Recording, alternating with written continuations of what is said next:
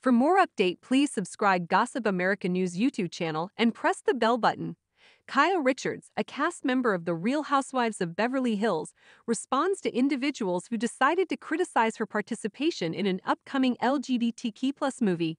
Mere minutes after announcing her upcoming starring role on The Holiday Exchange, a LGBTQ holiday film, negative comments started pouring in, but in true reality television style, the Real Housewives of Beverly Hills star Kyle Richards quickly quipped back a simple and effective reply.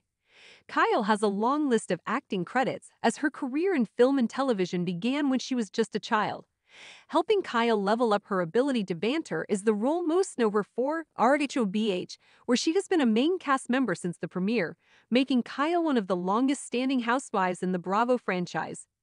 Moving forward from a rough RHOB season 12, Kyle shared her latest project, The Holiday Exchange, where she is set to play the role of a mother to one of the main male characters in the LGBTQ plus holiday romance. While many of the comments were kind and supportive of RHOB star Kyle Richards' new film, others were downright hateful, with several utilizing the term woke. They made comments like, pandering to the woke mob, won't be a Kyle fan anymore, go woke, go groke. Breaking her silence while tagging the latter in her reply, Kyle clapped back with a hand-waving emoji, writing, you won't be missed. Kyle being an ally should not come as a shock to fans. In RHOBH Season 5, Kyle threw a gay mixer for all the dinner party gays in her life who didn't want to find love in the club scene. The housewives were asked by Kyle to bring along their gay best friends to help solve the drought of tops in Beverly Hills. In June 2022, Kyle also hosted a Celebrate Your Pride shopping event on Amazon. Kyle's support has not gone unnoticed, as one of her commenters lovingly wrote, She's been an ally, is an ally, and will keep being an ally.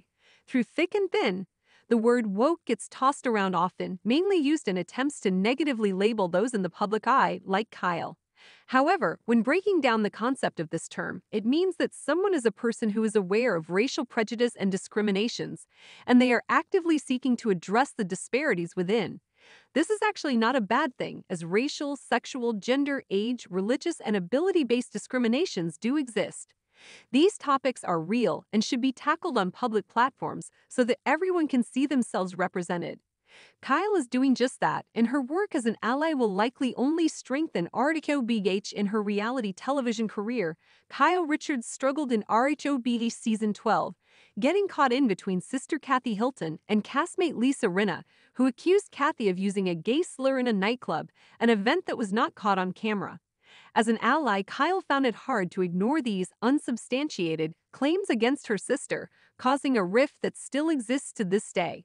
Hopefully, The Real Housewives of Beverly Hills Season 13, which is currently filming, will further shine a light on Kyle's new film alongside her support of those within the LGBTQ plus community, while also bringing some form of closure for Kyle and her sister Kathy.